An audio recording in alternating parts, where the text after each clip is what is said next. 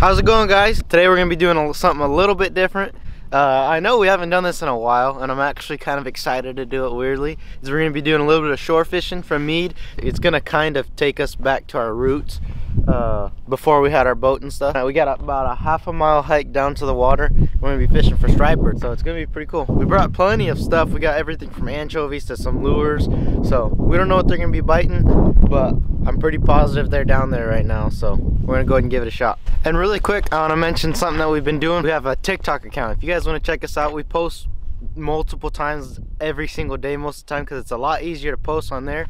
Here's my TikTok username right here, Sin Outdoors also. So go ahead and check us out over there. We got plenty of videos you can go over there and look at and like I said, we post multiple times a day. As you can see, I brought a bunch of spinner baits, bunch of jerk baits, swim baits, all kinds of stuff. So we're gonna, since we're hiking down to the water I didn't bring a backpack, we're gonna limit down our stuff so i'm probably just gonna bring a couple lures our bait hooks and stuff and then we'll see where we go from there so this is just about everything we need we got we got all of our rods and stuff also. We're bringing looks like five.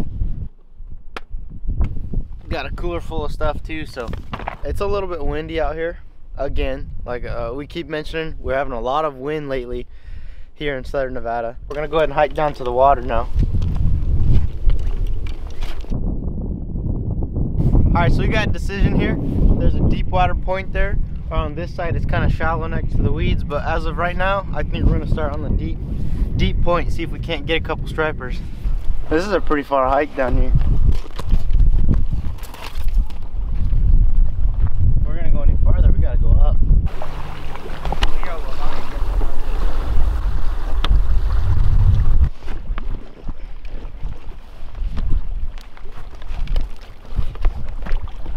Alright guys, right on this edge looks like the spot. We got some deep water and a good spot to fish from. So we're gonna go ahead and set up right here and go ahead and cast our lines out. So one thing I want to note really quick guys is that the water here at Lake Mead has been coming up like crazy. Usually right here, um, you got a good little bench to walk on and everything, but the water since it's been coming up, we're literally fishing in the cliffs. And also the reason why I'm shore banging today is because a lot of people don't have boats and a lot of you guys are commenting, you know, how do you catch them from shore? So today we're gonna go ahead and show you how we do that and how we would go about it because a lot of people say that they're not catching so we're here lake mead from the shore. We hiked all the way down to the water and we're gonna go ahead and see if we can't catch a couple. People are catching uh, the couple people we ran into walking had a couple on their stringer so it looks like it's gonna be a good day. All right so all i'm gonna be using right now because we're gonna be casting around lures also but i'm gonna let some bait sit. It's just a basic drop shot rig. I've got a nice size one hook with a nice weight right there so um, it's about I'd say 10 10 inches of uh, line between the weight and the hook. So we're gonna go ahead and put on a piece of anchovy cast it out and let it sit on the bottom. All right so I don't know how this audio is gonna be because it's crazy windy but what I did here is I cut up a bunch of anchovies and uh, as you can see the smaller ones are gonna be for chum and some of the bigger pieces like this one are gonna be for bait. So that's one of the things we do when we're fishing uh, you gotta have some chum and some bait. I personally prefer using the heads the heads for bait. They'll stay on longer and they're a lot more sturdy so the fish can't steal it as easy. Now normally I'll have more space in between my weight and my hook but this will do for now. I just like to get the head and hook them right through the eyes. So you can see there the bait. Hook it right through the eyes. And that's it so now wherever I cast that which won't be too far out I'll go ahead and throw a bunch of chum on top of it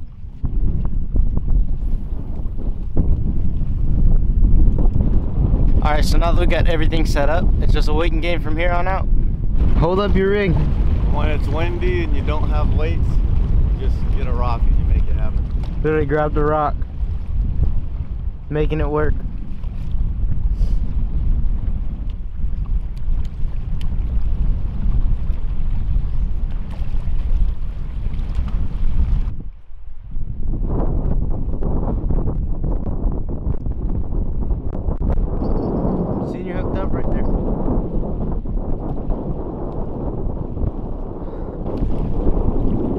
closer, huh?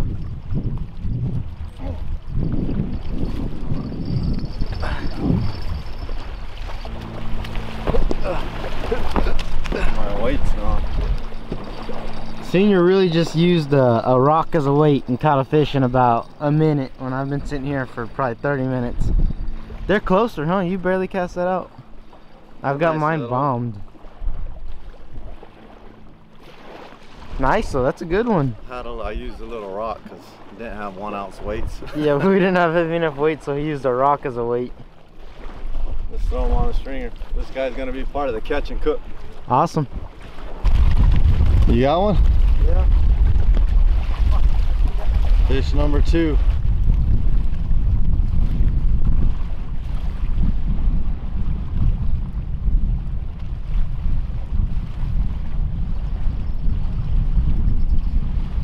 It's kind of super skinny though. Super skinny. The other one's way better than this one. Let him go if he's super skinny. We'll keep the fat ones. Alright. Oh, oh, right there. Fish on. Get it, get it, get it, get it.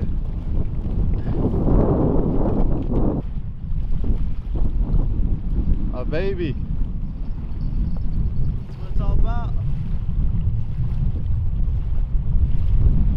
Those of you that are out here shore banging, I feel, I feel your pain. We got set up and now look, literally two feet from where I was at. Look at my pole, his pole, his buddy, and his other buddy, and his other buddies. Craziness right here. Combat fishing. Come look at this real quick. So not only did I just catch the biggest uh, fish in the whole lake, he tangled up my line like crazy. I can't even unhook him. that right there is a nice fish.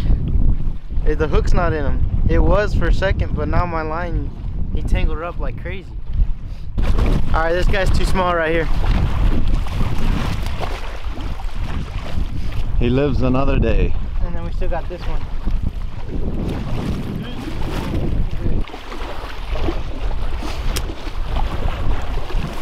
All right, so we caught another one, but as you guys can see, paper thin. We don't like keeping them when they're paper thin, so this guy's most likely gonna go back also. Do you want it? Yep. Thank you.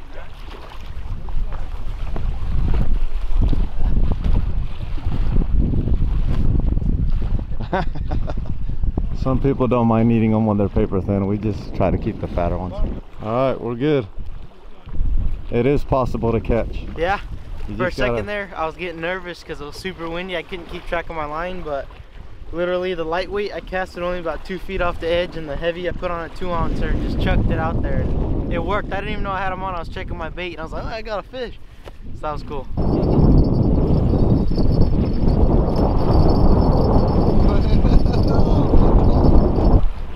All right, so we're about to hike back up to the truck. We're gonna call it a day. This wind makes it horrible for filming, but I hope the audio is good enough that you can actually hear me clearly. But um, we ended up catching three. We caught a small one. I let that one go. We gave away a skinny one, and we kept a nice one. So we're gonna go ahead and take them home, cook them up. As of right now, we're gonna pack everything up and get hiking back up the up the mountain to the truck.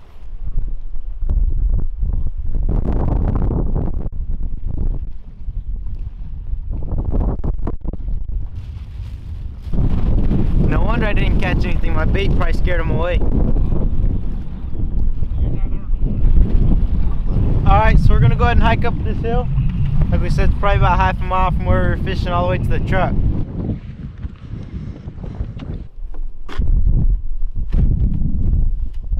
All right, so now we've packed everything up in the truck. We're gonna go ahead and head home now. We only kept one, so we're gonna go ahead and take them home, cook them up. And man, I forgot. Uh, it's been a while since I've shore fished. I bow fished from the shore and stuff last season, but that still was almost a year ago. So it's been a long time since I've shore fished, and it's almost like combat fishing. At first we got there, we were the only ones there, and then a whole bunch of people came in, and everybody was fishing. But it's all good. Everyone's nice. Uh, it is a little compact in there. We were like on cliffs, but still worked out. Everybody was catching and having a good time. All right, so we're back home now. Um, as you can see, I'm in my kitchen. I'm gonna go ahead and fillet this striper really quick. Skinless, boneless, just nice and easy. And we're probably just gonna saute them really quick. Uh, just a very simple recipe. To be honest, you can never go wrong if you cook fish like this, in my opinion. It is seriously one of the easiest ways to cook a fish. Um, normally, we don't like keeping the skinny ones, but that's just about what we're catching at Lake Mead lately. And uh, they're still good eating, don't get me wrong, they're still really good eating. You just don't get as much meat on them. So what we're gonna do is we're gonna go ahead and wipe this guy down real quick with paper towels He's a little slimy. Makes it easier to do some knife work on him. We're gonna get a sharp knife, like the one I got right here. Put him on the cutting board. Get to filleting.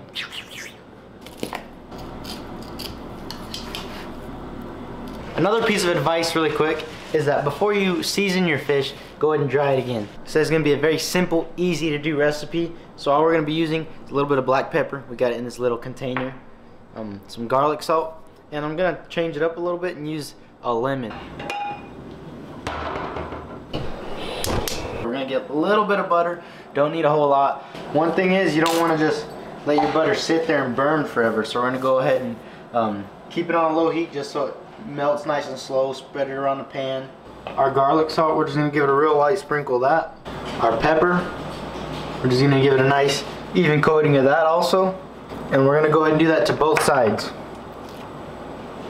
The butter's completely melted. Right as it starts to turn a little bit brown is when you know it's ready to be used.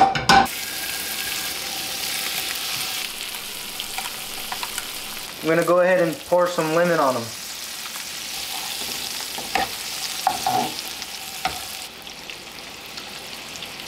Uh, we're gonna go ahead and leave it on here, probably just a couple minutes. Once you'll know when it's done because it'll start to flake apart and fall apart. So when it, your fish starts doing that, it's perfect. As you can see, it's starting to fall apart. That's how you know it's done. Now, one thing I want to tell you guys really quick is uh, what to notice. Now, you see here how this piece has all that dark stuff on it?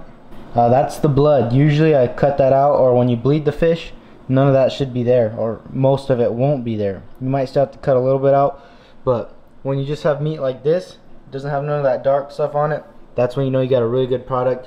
That piece is going to taste a lot better than that piece. But I'm going to go ahead and taste them. Alright, so this is the final product. Usually you can cook, you know, other stuff with it, maybe salad or uh, some vegetables or something get a full meal. But right now I just feel like eating some fish, so I'm just eating like a little bit of a lunch right here, eating this fish, so we're to go ahead and give it a try. Is that piece without the bloodline? Nice little bite here. That's extremely good. I'll tell you what, that's really good. Especially for only taking, it literally only took me probably five minutes to cook it. So now I'm gonna go ahead and taste a piece with this little bit of blood on it and see if if it's worse. Yeah, so those pieces with the, the, the blood in the meat, that's darker. Definitely have like a little bit more of a fishy taste. Not bad though, I still really like it. I'm gonna eat it all, this stuff's really good. When we went out shore fishing today, we seriously were only out there for probably like 30 minutes. And we caught three and uh, we only kept one. We only needed what we are gonna eat. We gave away skinny one like we mentioned and we let go a real small one. So awesome food. Seriously, anybody can go out and do this. Uh, we were out at Lake Mead. We hiked down to the edge, caught some fish. Only like, literally like an hour and a half ago, maybe an hour ago, this thing was swimming around in the water. And now he's on my plate. And we're enjoying him. Great, great meal. I'm gonna go ahead and go give some of this to Senior in a minute. Uh, comment down below if you guys like this video. Obviously, if you guys like it, drop a like, please. We really appreciate it here at Sin City. If you guys want to see more catch and cooks, let us know. Uh, fishing season's really coming up close. It's already starting, basically. We're already talking trips. We're about to go soon. Um, things are going to start rolling here. I'm excited about what the future brings. Uh, thank you guys for watching, and I'll see you outdoors.